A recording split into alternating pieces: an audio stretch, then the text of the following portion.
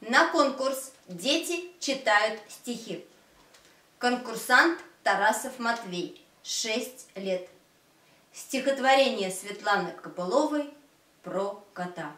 В одном дворе уже который год жил одноглазый и безухий кот. К тому же у него был сломан хвост и лапа от бедра наперекос. Ходил тот кот, подпрыгивая так. И кличка у него была Пират. Всем детям, что играли во дворе, кота касаться строгий был запрет. Со всех сторон тот кот гонимым был, но он, казалось, всех и вся любил. И если кто его камнями отгонял, об ноги тех он терся и мурчал.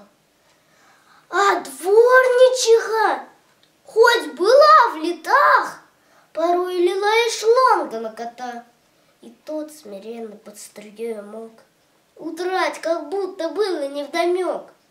Особенно тот кот детей любил, стремглав бежал к ним, радостно вопил, и если кто его на руки брал, он блузку или пуговку сосал.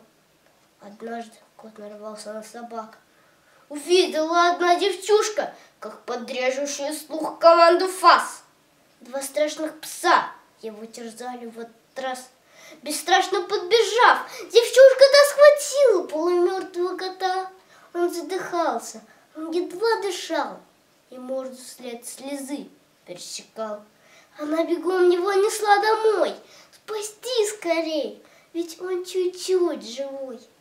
А кот пытался в этот миг мурчать и даже ее пуговку сосать. И вылечила девочка кота! Она его спасала, как могла, кормила самым свежим молоком и даже забрала его в свой дом. Зашили вскоре рану кота, и шерстка стала чисто и мягка. И в благодарность девочке тот кот мурлыкал песни, так, как только мог. Из сострадания миг открыла ей